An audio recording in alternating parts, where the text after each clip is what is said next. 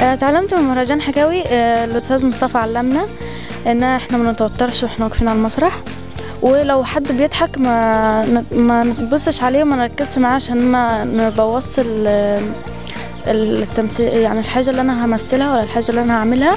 شد انتباه اللي هما بيتفرجوا عليا خليهم يركزوا معايا. يعني حاجات كتير ما كنتش أعرفها زي الرياضة مع المس هاجر آه، والألعاب اللي كانت بتوريها لنا والرياضة بتاعتها. وغير كده إن أنا يعني جيت وقت كتير إن أنا اقدم هنا مع أصحابي وغير كده إن أنا أخلص مذاكرتي وكده يعني. علمنا إن إحنا نتكلم من غير ما نخاف وإحنا هنسمع آه، سلبيات كتيرة بس إحنا ملناش دعوة بالسلبيات آه، لنا دعوة بالإيجابيات. الأستاذ مصطفى علمنا حاجات إحنا ما كناش عارفينها والأستاذ مصطفى برضو علمنا اللي ما نخافش ونوثق في نفسنا.